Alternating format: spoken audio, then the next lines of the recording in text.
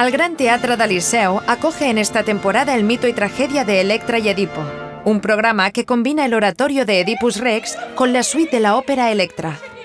En los textos de Sófocles coinciden dos de los compositores más brillantes del siglo XX, Igor Stravinsky y Richard Strauss, y ambas obras componen un mosaico musical donde conviven la ópera, la cantata y el oratorio.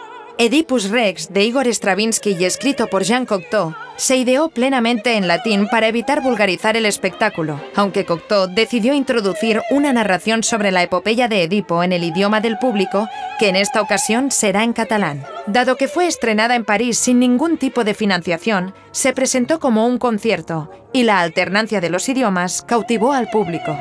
Esta obra nos sumerge en la dramática vida de Edipo, que si bien trata de huir de la profecía que decía que mataría a su padre, acaba cumpliéndola inconscientemente demostrando lo imposible que es escapar del destino.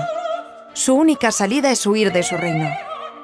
Por otro lado, Electra de Richard Strauss, ópera de la cual en este concierto podremos disfrutar de una suite que recoge algunos de sus momentos musicales más interesantes, reflexiona sobre la venganza como un propósito vital que guía los actos de la protagonista para hacer justicia sobre la muerte de su padre, Agamenón, a manos de su madre y el amante de esta. Pero lo cierto es que detrás de este asesinato que ahora Electra trata de vengar, ya había un instinto de revancha. Agamenón sacrificó a una de sus hijas.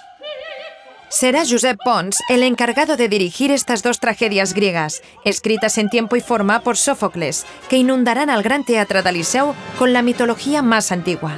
¿Te atreves a viajar a la antigua Grecia?